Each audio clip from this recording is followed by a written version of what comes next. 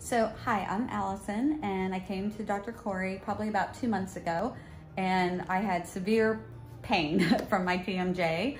And um, the very first day, they were so wonderful. They squeezed me in because they really didn't have an opening, and I was like, "But please, please, I can't take this anymore. I can't hear, and I have pain."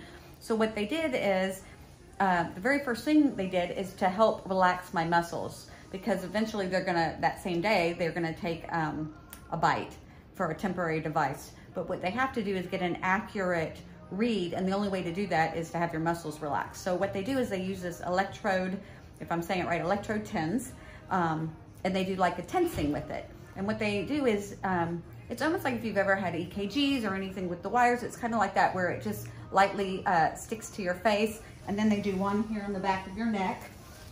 And they have you relax. They put you in the chair and they say relax and then maybe 45 minutes to an hour, just depending on how bad. I think I was really bad. I think I went a lot longer than normal.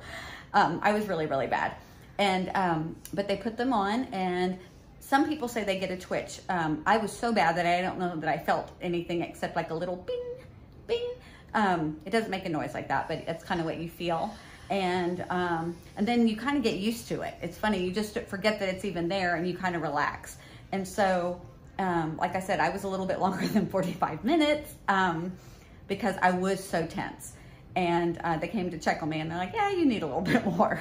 So, and I think my, my level was a little bit higher probably than most, uh, but it works. So it starts relaxing the muscles. It's kind of like relaxing everything so they can go ahead and get a really accurate bite.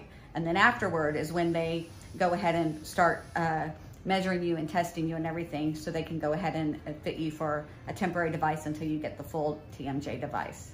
So, um, but it's, it's not painful and um, it seems a little odd, you know, maybe at first, but they'll, they'll tell you you might feel a little bing, you know, and, um, and you, some people twitch like this, you know, um, and I think the second time I did that, but it's really not painful at all. And it really does help relax and they turn down the light and you just kind of zone.